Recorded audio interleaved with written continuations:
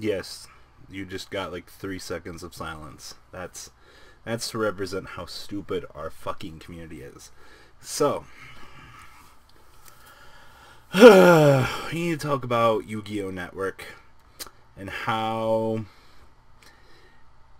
I don't even want to say like 50%, but I think it's more fell for the biggest scam of 2016 for the Yu-Gi-Oh community. And it was it was orchestrated beautifully because it was fed so well off of the community's need and want for something that we even even I you, even though a lot of people didn't see me talk about it publicly uh, a few people uh, heard me be optimistic and hopeful for the system. So I'm sure there will be better videos out there um, more videos chronologically constructed better than this but I wanted to talk about this from the way that I seen things. So, first off, Yu-Gi-Oh! Network was supposed to be out. It came out of the blue. Um, our community was so so hopeful for this, um, and when someone that has as well of ties, I'm not going to mention the person's name here uh, for reasons, but when someone as well off as this comes and says that they're going to do something you know, as creating a dueling network, a lot of the community becomes ecstatic about these things um, because someone with the right sources, with the right knowledge of the game, you know, it's easy to become blinded by hope. So, Yu-Gi-Oh! Network was supposed to be this created dueling network. Um, keep in mind, throughout the entire scenario, we had no physical proof of how the system would work. We had no pictures for how it would work nothing. Right? Our community lived on a dream. So basically a site was launched, I think it was ygonetwork.com, a Facebook page was both created and it said enter your email if of course you want updates and to be contacted when updates happen. Now pretty much amongst all of the people in the community, I think there were like 1400 to 1200 followers on the Facebook page and I God knows only how many emails he got. I mean, thank God I used one of my lesser ones, but you know, sometimes sometimes phishing schemes happen and emails get sold for money.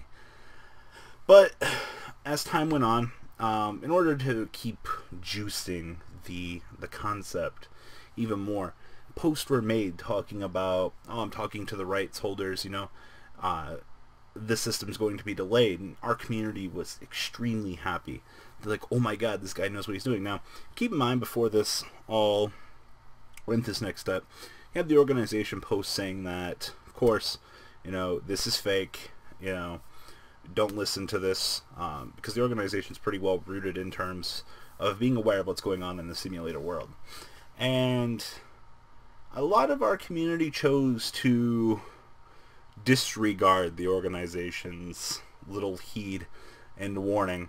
I'm not quite sure if it was the fact that the organization said this is bullshit or the literal next step in the whole evolution of things was I'm in talks with the rights holders because as beautifully executed as that is, he literally fed off of the community, put a blocking stone in the way of the organization and literally continued to feed on the online community. Now, not going to lie, I had hopes. Somewhere, somewhere deep down in the whole crevice of the community, I was hopeful that this would happen, but somewhere along the way, I was skeptical because we had no real knowledge of what was going to happen.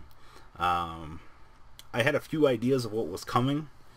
Um, man, fucking those little seeds of deception being planted. Fucking all the anime references in the world. Enjoy your your little dark seeds reference from Digimon, guys. But the seeds seeds were very planned out. It was very well executed, and I I have to clap for this because not only did he pull the wool over all of our eyes, but it was it was very well planned. And I know a lot of people in our community. Um, I saw something on Zodiac um, about it being um, malware site, uh, Russian tracking of numbers, whatever the fuck it was.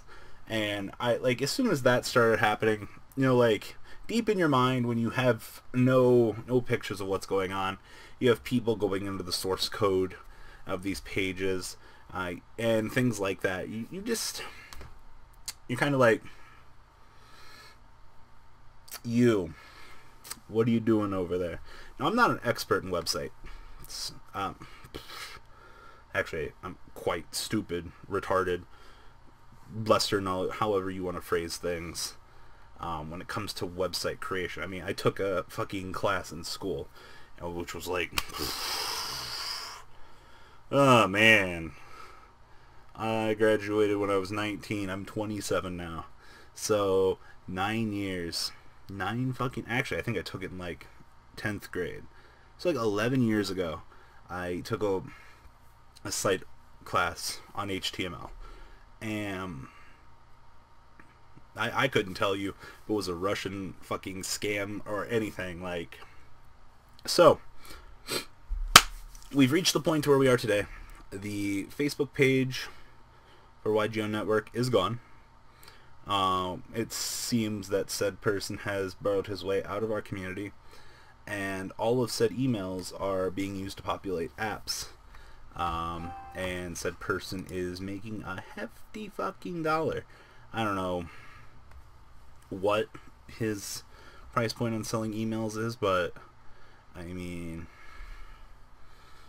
it worked out. So once again, kudos to the man. If you if you guys went through this entire video without understanding what Yu-Gi-Oh Network was, the TLDR literally was someone said, "Hey, I'm going to make a dueling network better than dueling network," and a lot of people fell for it. Now, to be honest, nothing of real great value was lost other than our our need and hunger for a DN is still there. Um, I think I think this really made things apparent to a lot of the community. Just how much we want a simulator that's not automated. And I'm not going to lie, having played a lot of Yu-Gi-Oh! Pro, a lot of Dev Pro, our community was, I'm not going to say very spoiled, but they had a nice thing for a very long time, um, much before the YVD days, but, you know, things go on in our community.